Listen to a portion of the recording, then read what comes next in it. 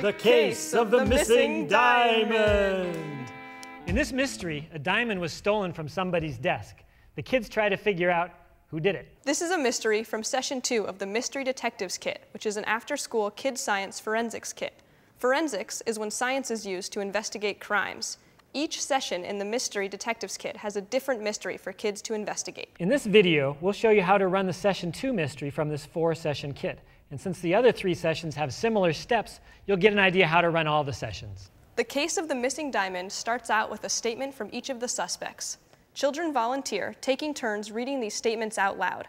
Then they all look at evidence from the crime scene. In all sciences, evidence is used to make explanations or to answer questions. In forensic sciences, evidence is used to make explanations about who committed a crime and how it happened. As the children try to solve the mysteries in pairs, remind them, like scientists, to keep their explanations based on all the available evidence. Next, they get case files. Case files include pictures of each suspect, their suspect statements, and their footprints and fingerprints. Then, you hand out a crime scene sheet to each pair. So here's the crime scene. What observations can you make about it? Maybe you observe footprints coming from what looks like a puddle of paint on the floor, and that the footprints appear to be from two different kinds of shoes. Maybe you observe that there appear to be both left and right footprints from one type of shoe, but there only appear to be right footprints from the other shoe type.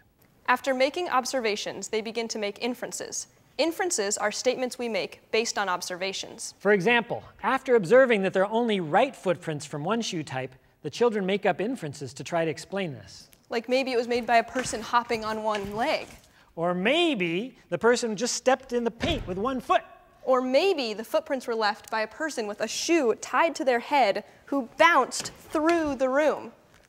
Okay, that's possible, but it's not a very good inference. Inferences are logical guesses that make sense. And making logical inferences from careful observations is at the heart of all scientific investigations. The kids have lots of fun making inferences, but often they have a hard time remembering which part of what they said is the observation and which part is the inference. The learning goal of the Mystery Detectives Kit is to understand the difference between observations and inferences. As the leader, you help the kids out with this. So, for example, a kid might say, I think the footprints were made by a guy on a skateboard, pushing with his right foot. He skateboarded up to the desk, stole the diamond, then rode away.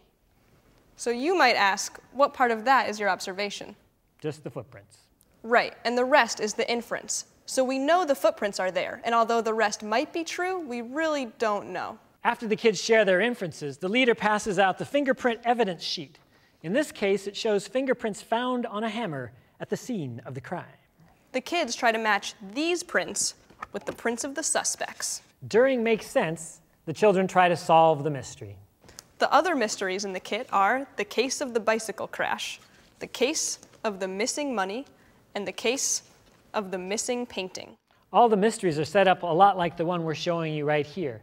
Most of the evidence is printed sheets that make the materials real easy to manage. One of the tips for running these sessions is to not hand out all the sheets at once because that can be pretty overwhelming. Instead, hand them out one at a time in the order described in the session guide. And be sure kids have enough time to investigate each sheet before they receive another one. Each mystery also has an evidence bag, which includes some real objects like these gloves.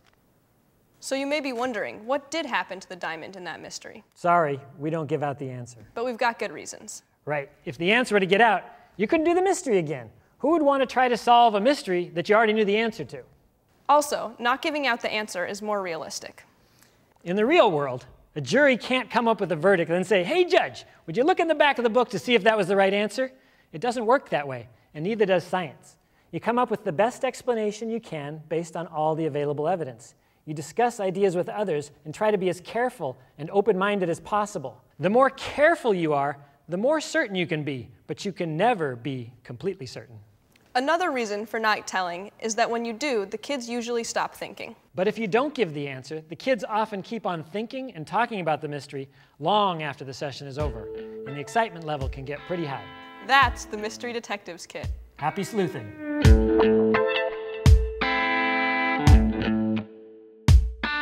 Funding provided by Oracle, the Noyce Foundation, the S.D. Bechtel Jr. Foundation, the David and Lucille Packard Foundation, and the Stephen Bechtel Fund.